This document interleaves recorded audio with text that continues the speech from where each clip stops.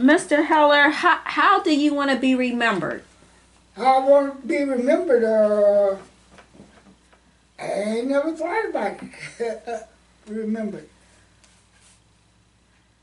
I, I guess, I guess I would be like to be remembered like they did. You know, you could do this and do that because this this was a ten foot ceiling, and uh, I, I don't know if you know anything about that, but they say the lower the ceiling, it, it, it better keeps your heat in the house.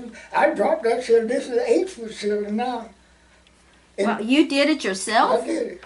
Then- Wow. yeah, and uh, that door there, it went all the way over to the corner. It was sliding doors, so I didn't like that. I took it down, put that, I put that window in right there. I, I, I can do my, that. That I guess that's another way how I make it. You know, like all these bills, people charging do this and do that and do that.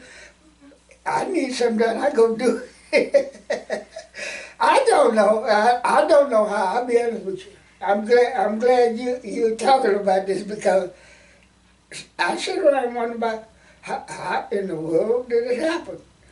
Well, I would just say that you were a man of many talents Yeah. and many gifts. And how? I don't. Like I said, when I was 13, 14, I was out in the street. I wasn't. And, and these kids, I, it, it, it, they seem like they can't learn, and I don't want. I got. I had a great great great grandson. He stayed here. He stayed here with me in that room there for. Oh, I say six or seven years after my wife died. I can I couldn't teach that boy then I said, come on, you you gonna need this when you grow up. You know, I'll be trying to teach him that. And uh, he and you let me tell him at 13 or 13 or 14 years old, uh, go up and do oh, Yeah, it's a different generation now. Yeah. I look at kids now and I'll be honest with you. I, I, I wouldn't put I, I wouldn't put them kids out there doing the things I was doing because it, it ain't right. Yeah, but I, I think about I did it. Mm-hmm. It, it just don't seem like something for kids. Right. It's like almost they don't want to learn how to do anything. Yeah.